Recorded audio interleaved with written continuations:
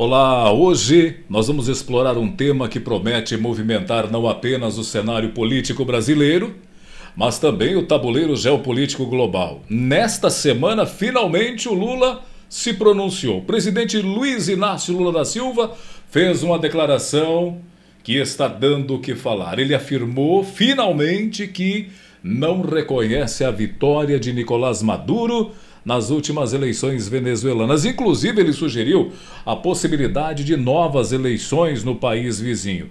Vamos entender isso.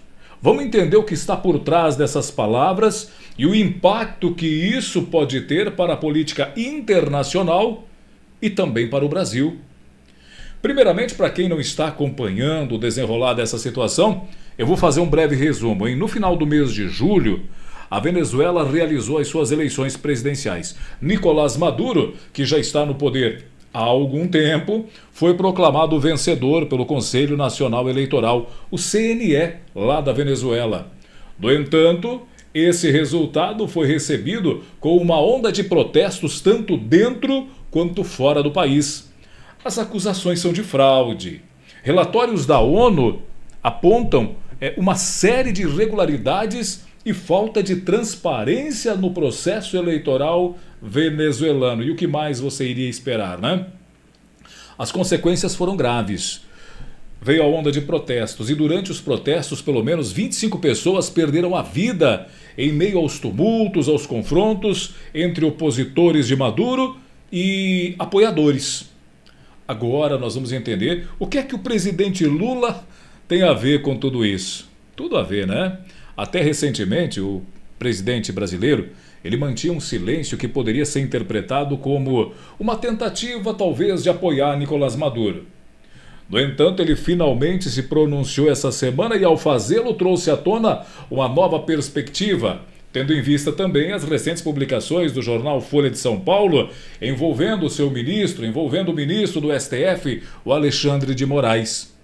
Em entrevista a uma emissora de rádio no estado do Paraná, Lula declarou que não vai reconhecer a vitória de Nicolás Maduro até que a investigação feita pela Sala Eleitoral do Tribunal Supremo de Justiça venezuelano seja concluída.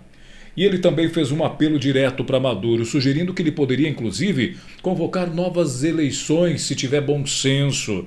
Mas a pergunta que fica é: qual é a real intenção por trás dessa declaração de Lula? Vamos começar pelo óbvio. Lula e Maduro são aliados de longa data. A proximidade entre os dois e o regime ditatorial é bem conhecido e, portanto, a expectativa era de que Lula se posicionasse de forma mais favorável a Maduro. A postura atual de Lula pode ser vista como uma estratégia para equilibrar a balança e demonstrar uma posição mais neutra ou até mesmo crítica em um momento de pressão internacional. Mas o que realmente pode ter influenciado a fala de Lula pode ter sido a matéria polêmica publicada pela Folha de São Paulo nesta semana que sugere que o ministro Alexandre de Moraes, do Supremo Tribunal Federal, utilizou meios fora do rito para perseguir apoiadores do ex-presidente Jair Bolsonaro durante as eleições de 22. Lula pode estar tentando se distanciar de possíveis repercussões negativas. A exposição desse tema pode estar forçando Lula a se posicionar de maneira mais crítica em relação a Maduro isso para minimizar os impactos políticos e sociais em seu governo. Ele pode estar tentando abafar a polêmica dentro de casa e se eximir de qualquer responsabilidade com as atitudes, por exemplo, de Alexandre de Moraes. Mas há algo mais em jogo aqui. Lula pode estar percebendo uma oportunidade de se posicionar de forma estratégica no cenário internacional. Ao sugerir novas eleições na Venezuela, ele está sinalizando ao mundo que está comprometido com a democracia e com a transparência, o que nós brasileiros sabemos que não é bem verdade, mas, de certa forma, esse posicionamento, nesse momento, pode ajudar a melhorar a sua imagem e também a imagem do Brasil. E, além disso, o apelo de Lula pode ser uma forma de se proteger politicamente no cenário interno. O governo brasileiro está enfrentando uma série de desafios e críticas, apoiado inclusive pelas decisões autoritárias de Alexandre de Moraes.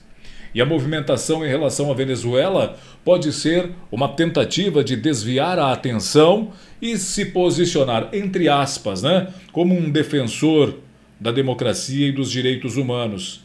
Lembre-se que há pouco tempo ele disse que sente orgulho quando o chamam de comunista.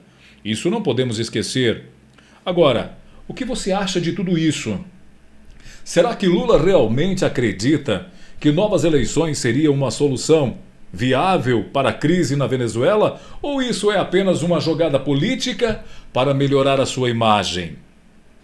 E qual será o impacto dessa postura para a relação entre Brasil e Venezuela no longo prazo? Deixe suas opiniões nos comentários e não esqueça de curtir o vídeo.